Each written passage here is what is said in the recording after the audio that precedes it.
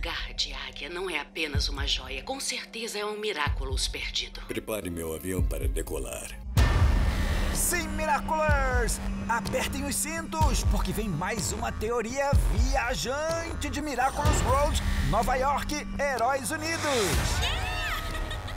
Como vimos, o Rockmorph estava certo o tempo inteiro e... Há outros Miraculous perdidos. E onde quer que estejam no mundo, eles vão ser meus. Agora que sabemos de uma nova caixa dos Miraculous em Nova York, tudo indica que outras estão espalhadas por aí, como desvendamos na teoria que falava sobre os enigmas da abertura do filme. Vocês lembram, né? E todas elas podem seguir tradições de antigas culturas, como a caixa da Ladybug, com os animais do horóscopo chinês. Isso tá ficando ainda mais interessante. E agora essa, que é protegida por um guardião nativo americano. Você me convenceu. Mais uma teoria que o Gloob já falou lá atrás, é claro. Mas bora falar sobre os mistérios em volta dessa caixa nova. Primeiro, o guardião. Ele aparece numa cena cheia de suspense. Quem são esses homens? Eles estão me parecendo mais caçadores de miraculos. Será que eles vieram da China? Eita! Olha só os ideogramas no leque desse aqui. Opa! Escuta só a música que tá tocando quando eles aparecem. Hum, suspeito. Muito suspeito. A próxima parada dos nossos heróis vai ser lá em Xangai. Será que isso foi uma pista do que nos espera? Ai, ai, não vejo a hora de confirmar as nossas teorias. Mas voltando a Nova York. Agora que o Miraculous da Águia foi encontrado, ele deve retornar à caixa de origem. Ele já chega dando ordens, mas ainda bem que a Inovatrix estava ali para defender a amiga. Negativo. A águia provou que ela merece ser dona de um Miraculous. Ele diz que veio de muito longe. Ah, de onde será? Eu vim de muito longe, então me devolva sem confusão, criança. Bom, os primeiros povos da América vieram da Ásia há mais de 60 mil anos. Chegaram no Alasca e se espalharam pelos estados norte-americanos, como o Colorado, por exemplo. Sair de lá do Colorado para chegar em Nova York é uma viagem. Não tô brincando, não. São mais de 3 mil quilômetros, o que dá mais ou menos 28 horas de carro. Ufa! Só de contar pra vocês eu já cansei. Isso explicaria ele dizer que veio de muito longe.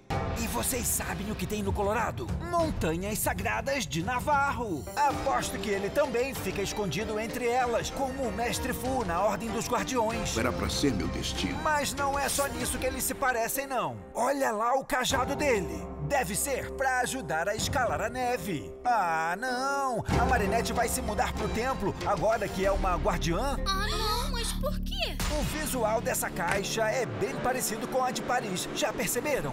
Com a diferença do formato hexagonal, as duas são antigas, com desenhos cravados na parte de cima e vários compartimentos secretos. Minha teoria estava correta. Os símbolos se referem às culturas originais de cada uma delas. Enquanto a do Mestre Fu tem desenhos parecidos com o fogo dos dragões chineses, a de Nova York parece trazer as quatro montanhas sagradas de Navarro, que fica no Colorado e faz parte da cultura nativa americana, que correspondem aos quatro pontos cardeais e direções do vento: norte, sul, leste, oeste.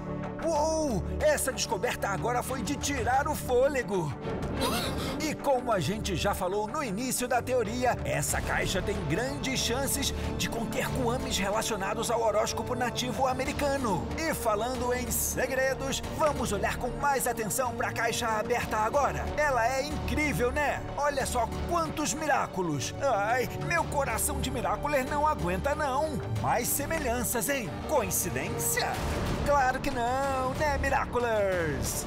Algumas joias conseguimos identificar logo de cara. Olha ali a parte amarela, onde fica o norte. O que, que é isso? Não sei se é um pingente, mas parecem penas. Ah, pode ser o Miraculous do Ganso. A parte vermelha representa o leste e tem um espaço reservado para o colar da águia. Eu tinha razão. A joia era mesmo o Miraculous da águia. Tudo me leva a crer que o bracelete ali ao lado é o da coruja. Não lembra as garras de uma? E fica bem no lado oeste. Um Miraculous com o poder de supervisão. Imagina só que irado.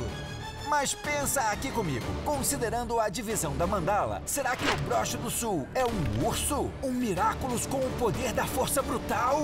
Nossa! E ao centro, um brinco, que parece ser super poderoso, considerando a posição dele bem ao centro, como as joias da Ladybug e do Cat Noir na caixa de Paris. É o Miraculous do Pássaro Trovão, um dos maiores símbolos da criação do universo no folclore americano. Opa! O poder da criação! Ué, mas onde foi parar o da destruição? Eita! Será que ele tá perdido? Ai, se o Rock Moth sabe disso! Não! Eita, que eu não quero nem pensar nisso! Eu vi tudo isso. Tem muito mais teorias lá no YouTube do Mundo Clube. Olhos de águia pra não perder nada, hein?